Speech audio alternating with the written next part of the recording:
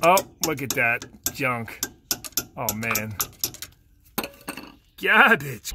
What's up guys? Today's to be a video about replacing the power steering rack in my 2004 Toyota Tundra. It's got a 3.4 liter manual transmission 4x4 at 192,000 miles on it. The reason I'm replacing it is because the passenger side started leaking pretty good. The inner tie rod end has a lot of play and it's also almost corroded through, which I'll show you later in this video, or rusted through for that matter. Now, normally I, I don't like using aftermarket racks because I, working as a mechanic, every time I install remanufactured racks, it's, it's like a dice roll, you know, hit or miss if they're gonna be good or not, or how long they're gonna last. But uh, so I decided to go with a new one. Now, one of the perks of doing YouTube videos and all that is occasionally companies will reach out to you and send you free stuff. So uh, this, in this case, Maxpeedingrods, they reached out to me on Instagram and said, hey, is there anything that we sell that you'd like to do a video on? I'm like, oh yeah, I do need a rack. So they sell this rack for $200 and I was checking out some comparable ones on eBay and Amazon. You can spend anywhere from like 160 to $200 for a new or remanufactured rack. Yeah, I was looking, love to put an OE in here, but they're about, the cheapest one I saw was 500 and then I saw them up to like $1,300 too. So I'll try and plug that part number in for you. This is made in China to be expected, right? For 200 bucks. Uh, but the quality of it actually seems pretty good. Uh, the, I checked out the threads, no damage on those. All the splines look healthy. And these uh, bellows are made out of like a hard plastic plasticky rubber which is great because the, the, china rubber that they use on these a lot of time they get super dry rotted and just uh, you know fall apart prematurely. So i'll be curious to see how these hold up. It's got stainless steel band clamps on it. You can see they put uh, torque marks uh, torque paint on everything. When you know showing that it's been torqued or tightened down you would hope. The bushings seem high quality. Again we'll see on those because a lot of time the chinese rubber just doesn't last uh, but yeah nice nice band or uh, spring clamps on here too. I love those spring clamps. And yeah so overall it seems pretty good quality. Let me uh, tear into this and i'll show you what's going on with my rack and give you some tips on how to replace it. Make sure you set the parking brake chock the rear wheels you get it jacked up on the front cross member. And then you can lower down on some jack stands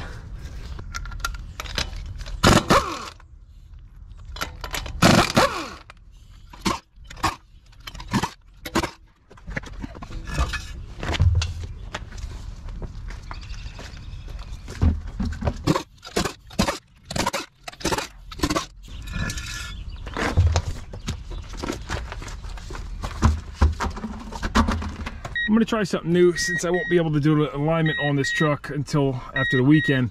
I got my steering wheel perfectly centered. And then on both sides, I'm gonna pick a reference point. So in this case, it's the sway bar mounting um, bracket there. I'm gonna bring it down till it kisses the sway bar. And then I put a little paint mark right here. I guess you can't really see it. Great visual because of this GoPro. But anyway, I got exactly 16 inches to this this paint mark on the backing plate. I'll do that on the other side, make a reference point, and that way when I put this together, I, you know, don't have to really do any messing with the alignment. It should be pretty much where it has to be.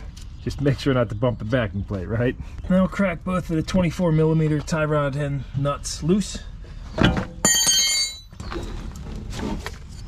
And then use a wire brush and some rust penetrant to clean off this outer tie rod and castle nut. Hopefully you can get the cotter pin out and it's not super corroded like mine is.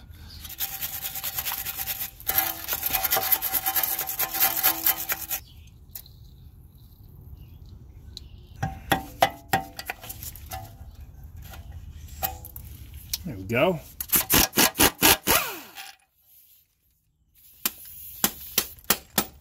Then usually if you give the knuckle a good whack right here, it should pop out.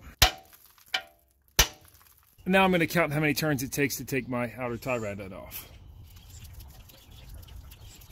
That was 16 turns. Now the same thing on the passenger side.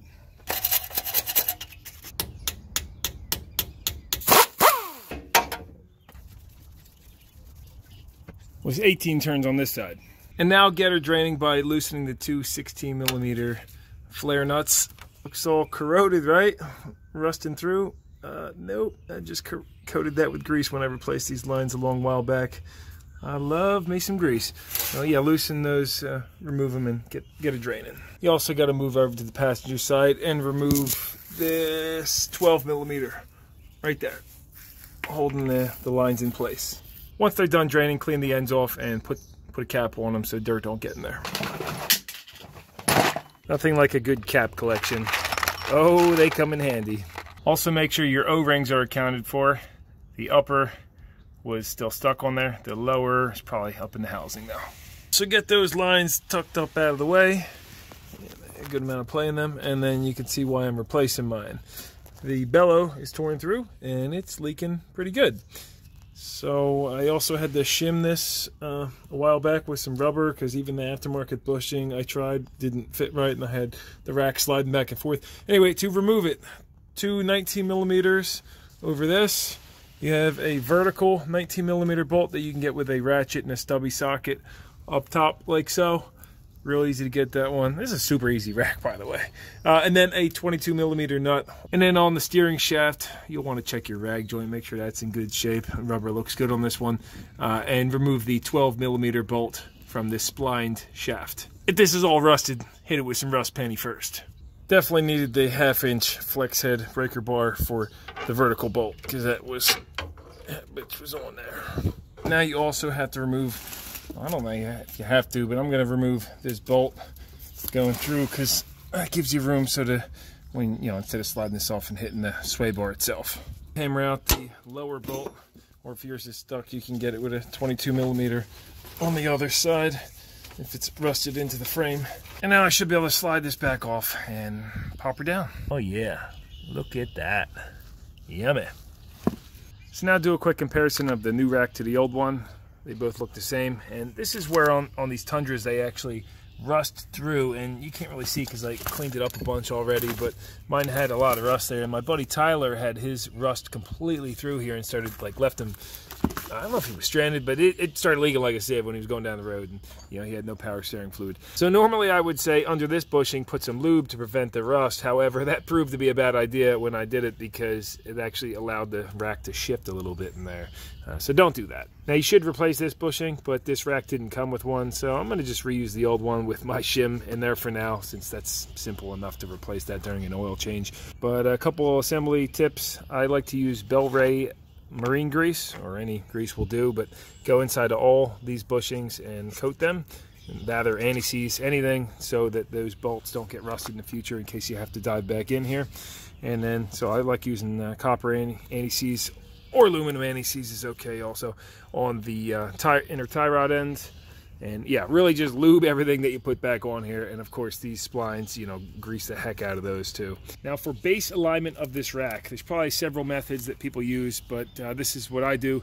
This is not a keyed spline so you could put that coupling back on in any which way and you might end up with uh, three turns on the right and two turns on the left or something like that. So what I do is put some vice grips on here very lightly so you don't damage the splines you could even put a paper towel in there if you want or just put them on super light and turn it all the way clockwise. With this spun all the way clockwise, I put the vice grips back on so that they're perpendicular or at 180 degrees. And I'm going to put a little mark. This is not an exact science at all. Uh, but so what I'm going to do, I want to find the center of the rack, right? Roughly the center.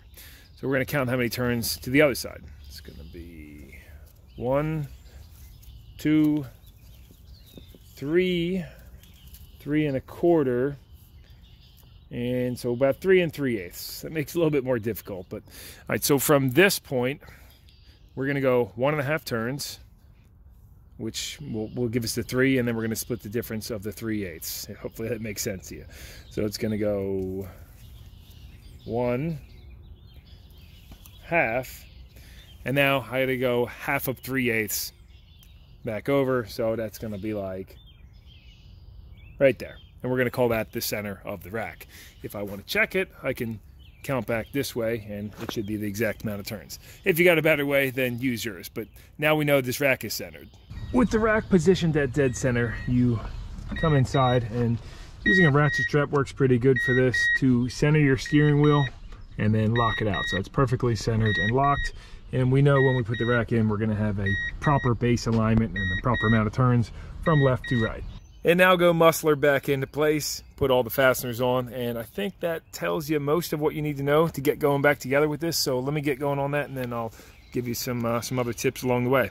Oh, by the way, this rack didn't come with the new O-rings for these, so I'm going to just reuse the old ones, and that shouldn't be a problem. And I guess I should note that most manufacturers recommend flushing out your power steering system when you're replacing a rack or a pump or any of the components. But since there was no failure in this, I'm going to go ahead and just uh, put that back in. If, if you had a rack year ago and it had a ton of play or problems with the power steering pump, you'll definitely want to do a power steering flush on it.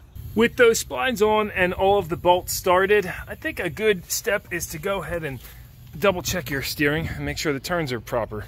You know, so you don't get it all back together and uh, have an issue. Because this cannot be corrected with doing an alignment. So we're dead center and we're gonna go one turn, one and a half, and boom, we make it to almost, eh, you know, about yay that far. So now let's go back to the center. It should be exact same thing going the other way. So it's gonna be one, half, ooh, and not quite as far, but I'm gonna call that good enough.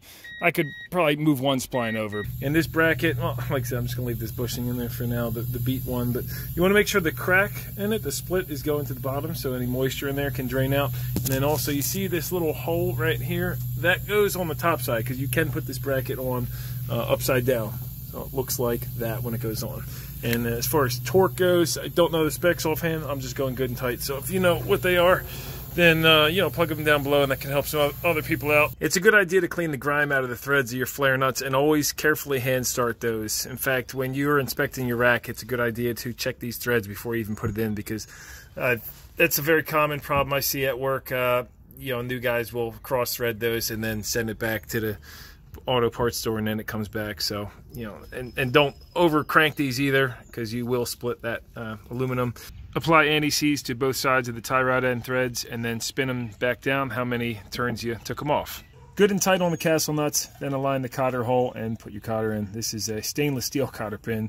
I like to use those so less problems in the future. And now to do my crude alignment check so i got the steering wheel centered. I'm going to bring this down till that kisses the the uh, sway bar and then bring it over. Oh yeah, boom. Dead on 16 right to the rounded edge there. So now I can snug this nut down, check the other side, make adjustment if necessary. This takes an 18 millimeter on here. And uh, yeah, we just gotta put the wheels back on and then we'll fill her up.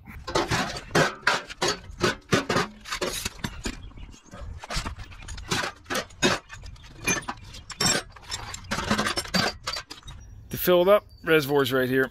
And it says right on the cap, use Dexron type ATF. So I've always just used, uh, you know, any old ATF. Never had a problem. Keep it in here with my other fluids and my hood whiskey, booyah, for in case you break down and you can't fix it. And you're stuck in the middle of the woods. So I got this Dexron 6, says it's compatible with Dexron 3 and all that. Yeah, so I'm gonna top this off all the way to the top. Leave about a half inch of clearance in there and then go ahead and start the truck. If you have somebody with you, you can have them start it and then you just keep pouring fluid in there. But in my case, I'll just start it for about two seconds. Make sure she's in neutral.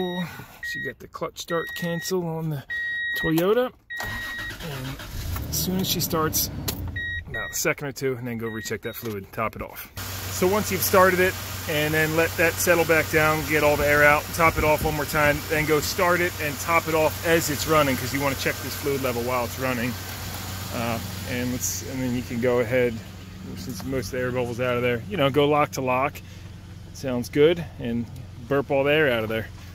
It took about three quarters of a quart to fill her up, and uh, yeah, wraps up the night. So I will see you Monday when we go do the alignment on it, and we'll see how out of whack that is. After driving the truck, the alignment was off a little bit. The steering wheel was off to the right. So I decided to use the string method.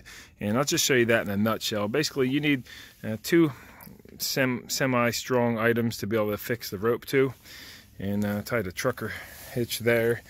And then on the other side, same thing. Just got a little ladder. And you tie it about midway up on the wheel. You know, you want to get it pretty taut, but obviously not so that the ladders are leaning over. And this brought some attention, something to my attention, because my thrust line is way off. Essentially, when you do an alignment, you know, there's no adjustment on the rear wheel, so we're aligning the front axle or wheels to the rear. And check this out. So I am two, let's see if you can see this, two and five eighths and two and five eighths on the inside of the rope there to be able to get this line going straight across that rear wheel. And on the front, it's only uh, it's only inch and a quarter. So I actually just made checked my adjustments. They're pretty close, but inch and a quarter and inch and a quarter. If you can see that, there you go. So the alignment's pretty much dead straight. You do want actually about 16th of toe in on each side for a total of 1 8 uh, toe. But yeah, what I'm seeing right here is that my thrust line is way off, so that rear axle needs to be knocked back over this way. Let me check the other side and see where that's at. But uh, fortunately, that's not going to cause any tire wear or anything. This trucker hitch is a great knot to know. Real easy to uh, release. Look it up if you haven't seen it before.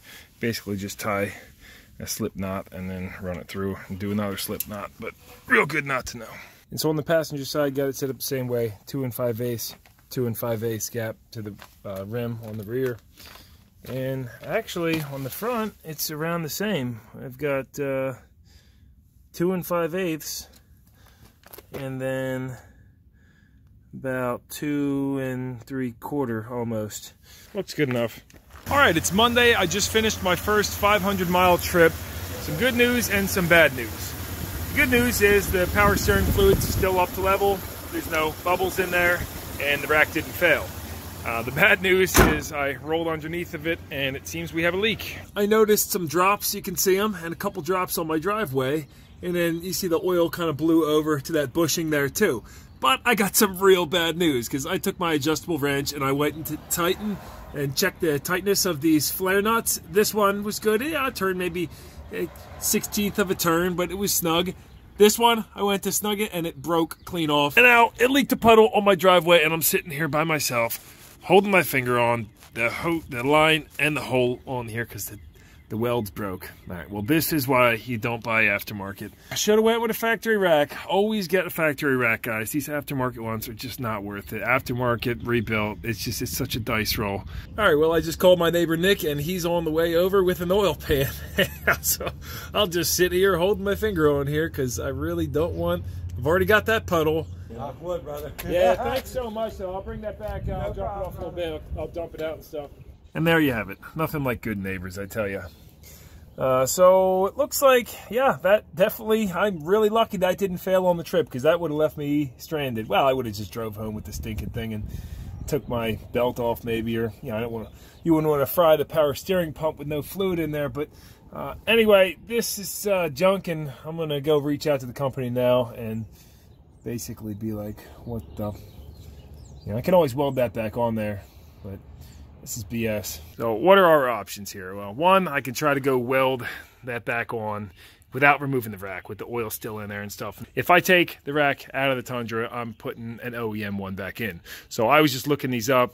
They're actually, I think I said in the beginning, I saw ones as cheap as 500. And that was the wrong part number. So uh, cheapest one I could find is $840 plus tax and shipping. And the MSRP is like, I think 1300 So my next option is I could reseal this one and get new bellows.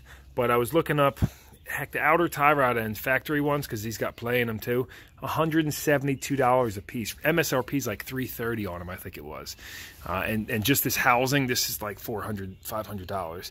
I sucked most of the oil out with a pneumatic brake bleeder. And at closer look, this is not friction welding. This is actually uh, probably resistance welding, which is a robotic process when the robot puts it on there and then passes current through. And a pool is supposed to be formed. However, you can see no pool was ever formed. And I'm surprised this wasn't leaking worse because it doesn't even look like that mated around at all. Let's tap the other one and check its integrity. Chances are this one's probably beat too. Oh, look at that junk. Oh man garbage. And let's see what happens if we tap the 15-year-old factory one that's all rusted. No flex. Nothing. Nothing. I'm tapping it the same amount, and that didn't budge. So that's a proper resistance weld. You know, I guess I might as well pull this thing out of here and get the rest of the oil out of it before I weld it. And also, I think I'm going to take this opportunity to replace my lower control arms since these bushes, bushings have been torn for quite some time. Well, at least it only took like 10 minutes to pull out this time. Something else I'm going to be replacing is these front struts. I put these in, I guess, probably about two or three years ago. These are Ranchos, made in USA, they claim, but look how rusted the springs got. Uh, they actually are warranting them out for me, though, because look at the lower bushing. That thing just got completely demolished. Let me get you closer up. Yeah, it's trashed. And uh, luckily, you know, I sent them a message and they said, yeah, we'll just send you some new ones. So that was cool.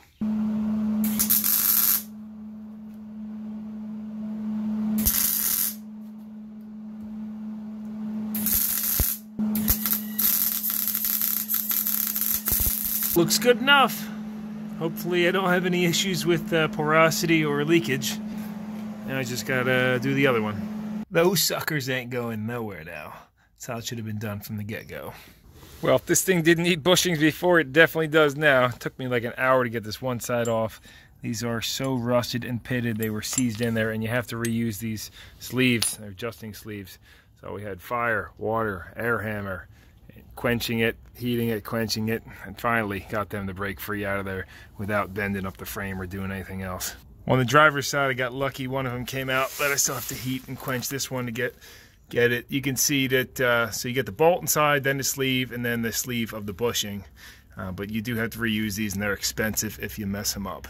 All right, guys, we got to talk real quick about these control arms. So I go to buy bushings. If you buy a complete Moog set online, uh, Chinese bushings. It's about $100 for all four bushings. You need two for each side. Your next option is getting factory OEM bushings, which is the best option because the thing about the Chinese bushings is, at least from my experience at work, they really just don't last. The, that chubber, the Chinese rubber, it dry rots prematurely and breaks apart and crumbles. And, uh, you know, of course, you go poly bushings too, but forget about that. They get all squeaky and those crumble apart too, from my experience. So, okay, let's go OEM. Complete OEM control arm, a 240 for each side, or you can get the bushings for like $100 a piece, or I found them as cheap as 67 for the small one and 76 for the larger one. Uh, so that's probably the option I'm going to go. But anyway, before doing that, I said, man, you can go online on Amazon and get both control arms for $125 with bushings already installed. I'm like, let me just order them and, and see how they are. And so poundage wise and, and quality of the build, this thing looks solid. It looks really nice welds on here. It looks good. And it weighs 1.5 pounds less than this one. Of course, this has some grease on it, but 1.5 pounds is considerable. Here's the problem, though. This is why I'm not going to use these Chinese control arms. And I'm a weirdo. I'm going to return them. I shouldn't have done this. But uh, check this out. I'll put this screwdriver on here in the I'm testing the tensile strength of the steel. And I'm going to take a scale, pull scale. We're going to reset it and we're to see how strong this metal is before it bends. So hopefully you have a good image of that picture. Let's go. No bending yet. Bit, tweaking slightly and boom. Now it's failed and it's bending over. We're at 50, 50 pounds. So very weak, very easy to uh, bend this metal. And of course, you know, you're not too worried about it. And sure, it would hold up just fine, but I don't want that Chinese steel on there. It's like they throw lead inside of this. I mean, look how easy that bends right back. So if you hit something, because I'm really abusive on my truck. I mean, I, I do some crazy stuff with it. Now, on the Toyota one, let's throw that on there and see if we can max the scale out and what it does. So again, we were at 50 pounds when that one flexed. Let me bring it back to right where it was so we get the same leverage. Okay, looks good we are 50 and it's we're maxed all the way out and it's it's flexed a little bit but you see how it flexed right back? This metal has a much higher tensile strength and it's just better quality steel. You can flex it but it bends right back. This stuff when it flexes it uh it stays there. It doesn't really flex back. Junk. It's chinese steel and i'm not going to use these because you know, I know I'm being a super crazy weirdo, but I'm gonna I'm gonna get the OEM bushings. I want to keep raw factory. I don't know what I was. Come on, what was I even thinking? I'm already putting an aftermarket rack in it. I already had problems with that. I'm not going with the Chinese. Oh, it's just so darn tempting. $125. You don't have to go pressing bushings, and of course that's the option for most guys. But just based on my experience, I'm I'm not gonna do it. Let me just show this comparison one more time. I got my uh, one hand on it. I'm gonna give it one quick hit. Boom! Look at that. See how much that bent over? And the Japanese one, or wherever it is made, USA, I'm not sure. I'm gonna give it the same hit. Here we go. I'm pushing on that way harder than I pushed on that one. That one flexed right over. So you can imagine if you go off-road and you bash a rock with this thing, it's gonna twist like a damn pretzel. Stop putting lead in your steel, China. Shit's weak. Garbage. There she goes.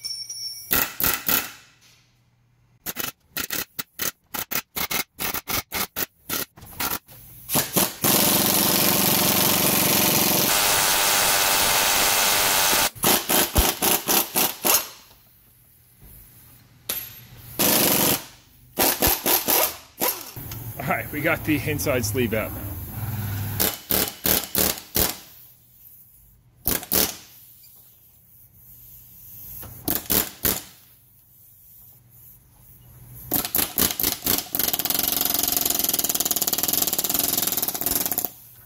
There she is. I just used this this uh, rivet cutting bit and cut a slit across the bottom. That really helped the best. That worked. That worked awesome. Once I did that, it came right out. You could see why this would just never press out. I mean, even if you had the right size adapters, it's so rusted and cruddy in here that um, it's going to be very hard to, to do that. And then clean the hole up. Just a wire wheel on here. Again, the, the little nicks and all that, superficial, not going to affect anything. Decided to do a front brake job also, so I figured while these were off, I'd reseal my calipers. Uh, you, you can get aftermarket calipers or remans for like 50 bucks a piece, but I find they never last, and I always see problems with them at my work, so I went ahead and get.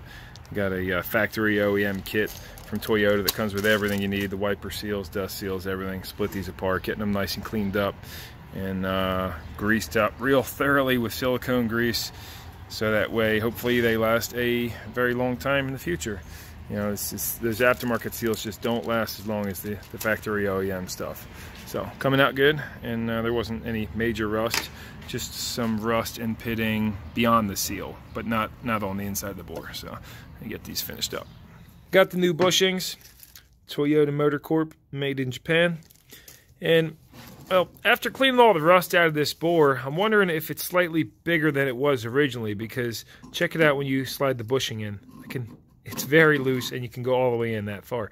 Now that is a bushing design because if you look at it, it's actually wider right on the end. I measured it with the dial uh, indicator. It's about 50 thousandths wider. So it only grips um, by hammering it in that last bit and I can kind of tap that in pretty easily with a mallet and then tap it back out so I don't like that uh, now that does make sense why these get so rusty because since it's not a super pressed fit road salt dust can get in there and cause corrosion especially into this hole right here and then that's probably why these things rust so bad in between so what I'm going to do is I well what I already did on this side is I took RTV right stuff silicone. I've rubbed, coated the whole inside, and then you coat the whole outside of this.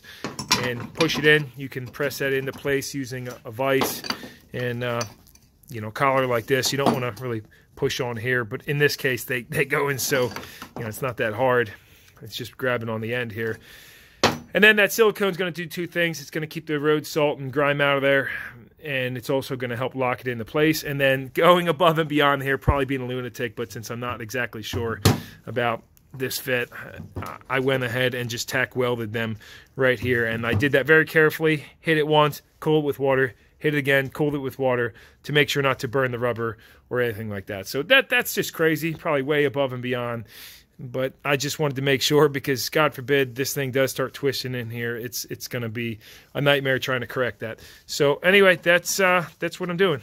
If you're pressing it on with a vise, you do need a spacer for the opposite side, and then again the large one, you want to contact the steel surface, not the inner part, and then you can press that all the way home, provided you've clocked it properly, and. Uh, yeah, run her all the way home since when I took these out, they were fully seated boom, until that all splooges out and you're good.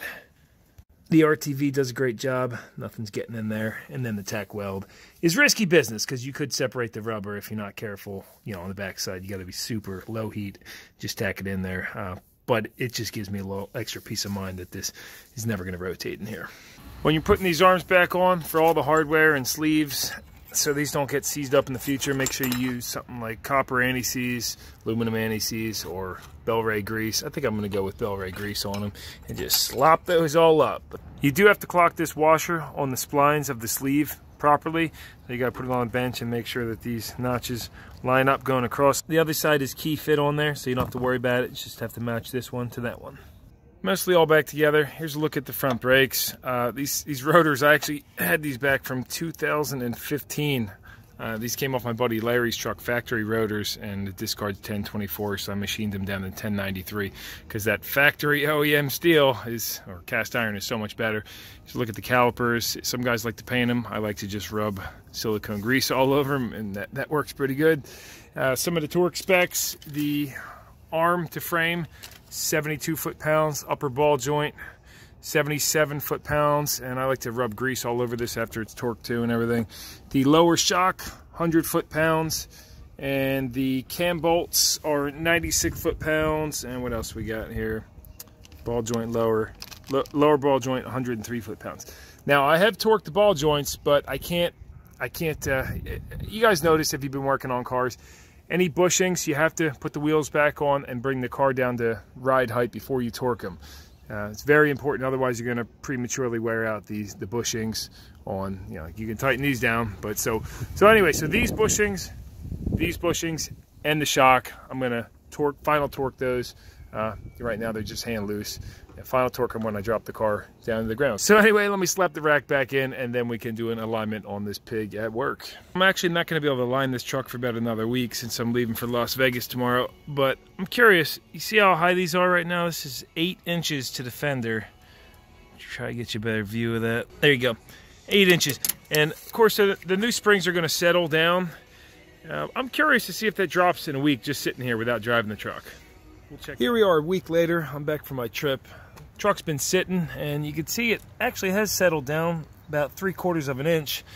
Uh, so the springs have settled down a little bit. But check this out, two things. When I was installing these struts, I mistakenly bumped one of the adjusters and broke the plastic on it. So luckily it's not leaking or anything, it's still usable, but that was a bummer.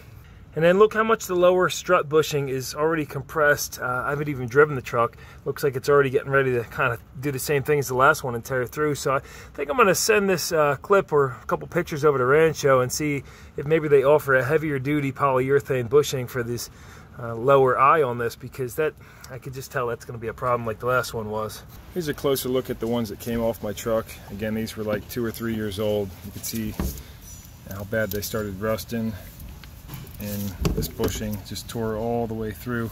And that started happening prematurely, I remember. It started looking like this one pretty quick. And well, it seems the new ones are kind of doing that already again. So, you know, Rancho's definitely got to upgrade those bushings. And these do say made in USA on them, but it must be of cheap parts. Made in USA, there you go. Uh, because, you know, the factory ones don't rust like that, and the bushings definitely don't tear that prematurely.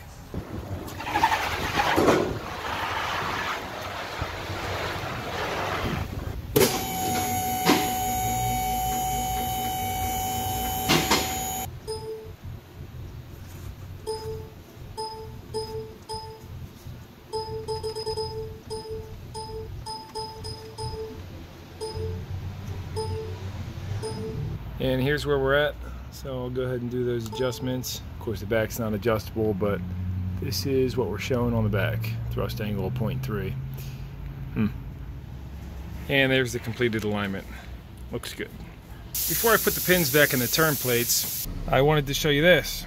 With the engine running, if you turn it slow, it's fine, but if you go fast, watch what it does. It starts vibrating. Let's see if I can do it again. There it is. You see that in the video? Whoop. Yeah, never did that before. Um, even, oh. On the bright side of things, the two ports that I welded on aren't seeping or leaking at all, so that's cool.